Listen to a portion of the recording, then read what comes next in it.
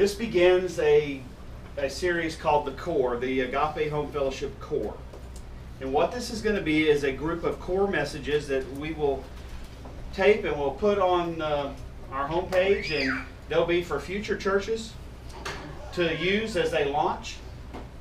Um, and the title of this one is, as we look, it's the uh, New Testament Church.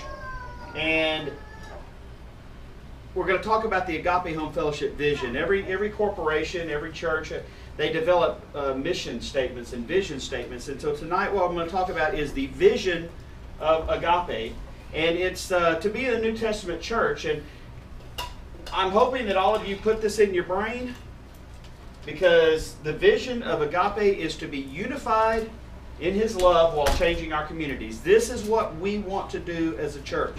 Not only this house fellowship, this is the beginning. The vision here is to multiply. And they became two, and then four, and then eight, and grow and grow, and, and to change our communities through that. And so the scripture that we're going to use tonight is Proverbs 29 18, where there is no prophetic vision, the people cast off restraint, but blessed is he who keeps the law. Here's another translation. This is out of Young's literal, tra- literal translation. Without a vision is a people made naked. And whoso is keeping the law, oh, he is happy. The contemporary English version says, without guidance from God's law and order, disappear. With, excuse me, without guidance from God, law and order disappear. But God blesses everyone who obeys the law. And I think we see this today. If we look at our society, it looks like left and right people are casting off restraint. They cast off restraint in how they act towards each other. They cast off restraint in how they dress. They cast off restraint in, restraint in how they talk. Uh, the older among us, yeah, the older among us could, t- and even us, okay, I'm, I'm speaking mostly to young people, we can tell you that things used to not be said and done in public. It didn't mean that people didn't do them, but there was a restraint.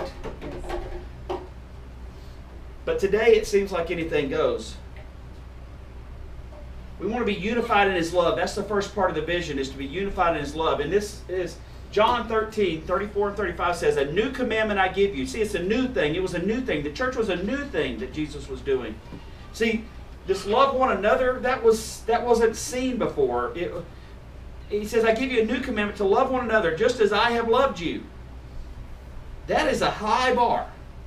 To love each other as Jesus has loved us. That is an impossible bar. But yet we are not supposed to say it's impossible. We're supposed to strive for it. He says, By this all men will know you are my disciples if you have love for one another.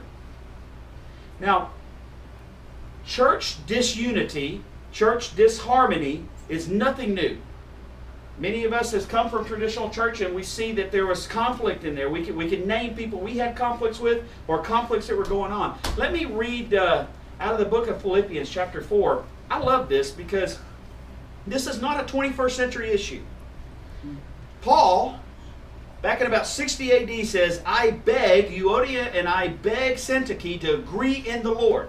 Yes, I ask you, true companion, help these women who have labored side by side with me in the gospel together with Clement and the rest of my fellow workers, whose names are in the book of life.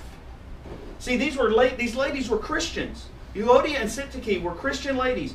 They had worked tirelessly by Paul, side by side with him, and labored, but yet they had a conflict. Conflicts are going to happen. We're going to have conflicts. As I told some last week and the week before when we had our, our, our pre launch, I told them, I am going to disappoint you. I'm going to not call you when you think I need to call you. I am not going to care for you the way you think it sometimes I need to care for you. Disappointments are going to be made by you and by me. You're going to disappoint me. I entreat you to agree in the Lord, is what the Apostle Paul says. See, we have to remember that agape, selfless love, we are a family. We are a family of God. We are all part of the family of God. We, we, I remember singing that as a kid. And, and what it means really is that we have an eternal relationship. Javier, 2,755,345 years from now, me and you are still going to be walking the streets of glory together. Y'all get that? Mm-hmm. It never ends. While changing our communities. Acts 17:6 tells a very interesting story and gives a real good insight to what the early church was like. See, they were looking for these guys, and when they could not find them, they dragged they, they, they found the one person they could find, and that was Jason. And some of the other brothers that were before the city authorities, they pulled them before the city authorities, and they started shouting, These are the men who have turned the world upside down. The early church made a difference in the community. They, they see these guys that were screaming, they had been making the idols, the little silver idols. That's what their job was. When when the apostles came through and they preached Jesus Christ, these people turned from their idols. Now all of a sudden these guys are out of a job. Instead of making hundred thousand a year, they're now making twenty thousand a year. And today had turned their world upside down because the early church made a difference in the community. It made a difference. Uh, we want to be a church at Agape that makes a difference. Here's a question that everybody should ask. You should ask it of yourself regularly. Every church should ask regularly. The churches that are on every corner in this town and in this county, in this state, should ask this question. If this church were to disappear off the street corner tomorrow, if we were to disappear out of the neighborhood, would anybody other than us notice the difference? See, the church that is the New Testament church that is doing things for God, when they disappear, the community feels the difference. Mm-hmm. See, the community is changed by the church. So, a New Testament church, see, when we fulfill the vision to be unified and to change our communities, we become what is known as that New Testament church. And that New Testament church is a church that prays together. They started off praying together. Before they had done anything, they prayed. Acts 1.14.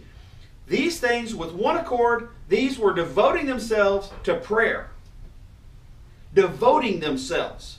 It wasn't a pastime. It wasn't a hobby. It wasn't something they did when they had some free time. They devoted themselves to prayer. And they devoted themselves to each other. You'd be amazed what happens to your relationship with other people when you pray with them. When the day of Pentecost had arrived, they were all together in one place. See, the church today is weak because it's prayerless. The pulpits are prayerless. I can tell you as a pastor that I have spent numerous hours preparing sermons and not many hours praying for them. And that's wrong. We read over and over and over and over and over again in Scripture that they prayed. They prayed. And prayer is a discipline. Don't, don't think it comes easy. It does not come easy. And don't think that the devil will not distract you from your prayer time. You will set your heart on prayer, and then all of a mm-hmm. sudden, you remember one other thing you've got to do before you can go pray. And that one other thing turns into something else and something else, and before you know it, the Spirit has left. The Spirit of promptness has said, Okay, get to me, I guess, when you got a chance. I testify to you that that has happened to me. The Lord has taught me that lesson over and over and over and over and over again. It happened today.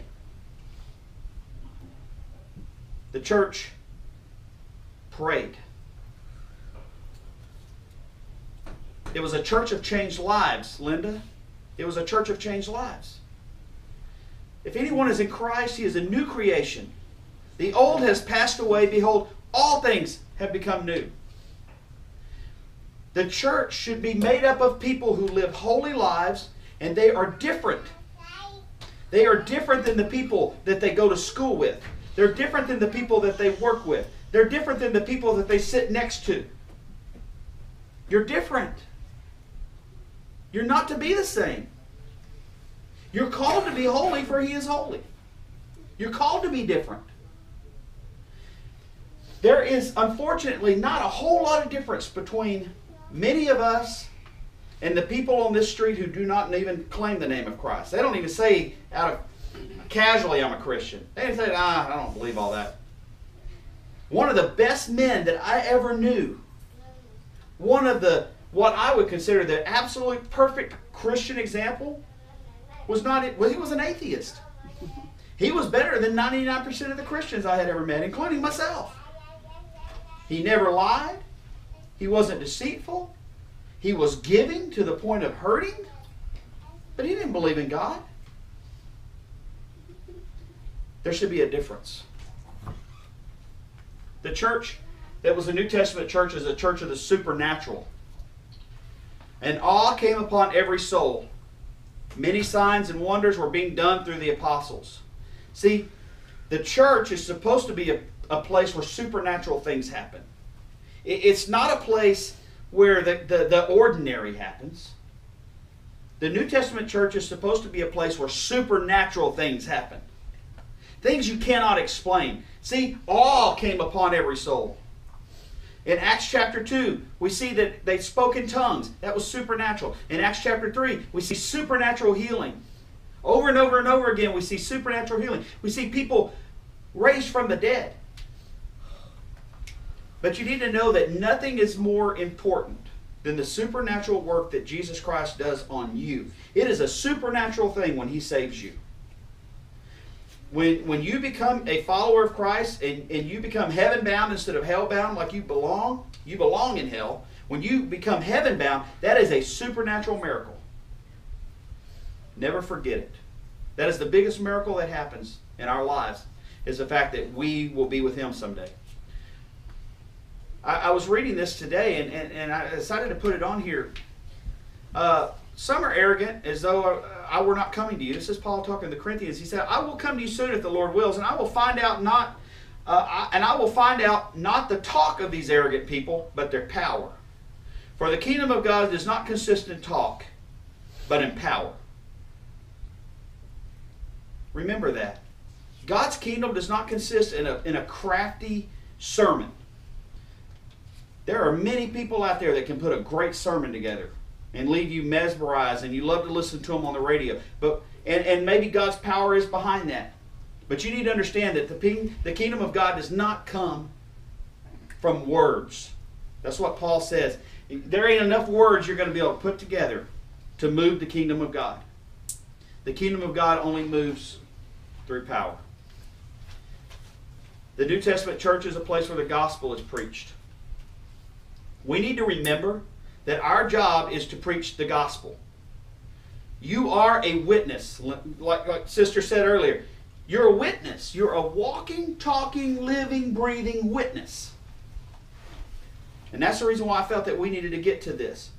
You are a witness for Him, whether you want to be or not. You can either be a good witness, one that glorifies Him, one that brings glory to His name, or you can be one of those that shame Him by your actions, by your thoughts, by your deeds.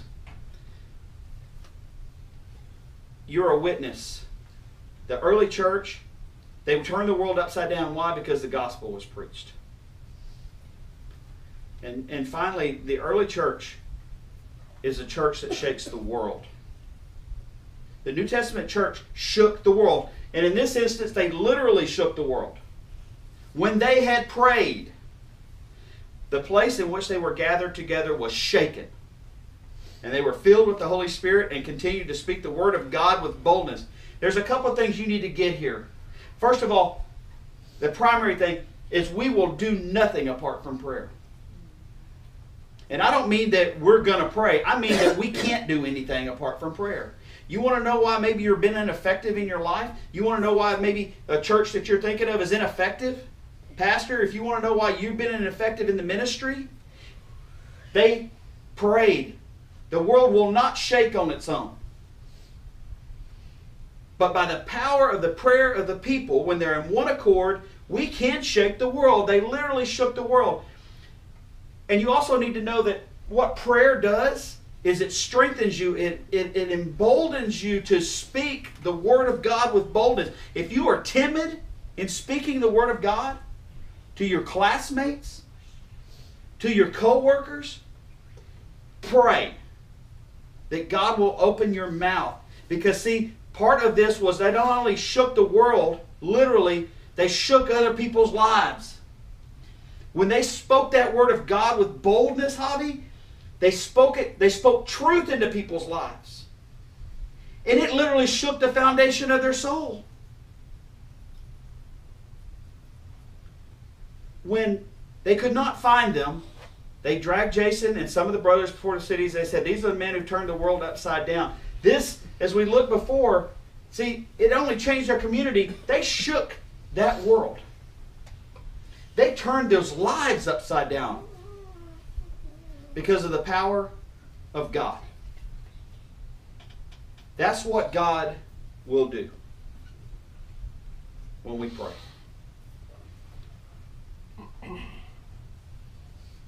So let's pray. Father, as we enter into this time of discussion, Lord, I ask that you would lead it. Father, just teach us what you would have us say and, and, and just help us to, to speak truth to each other. In Christ's name, amen.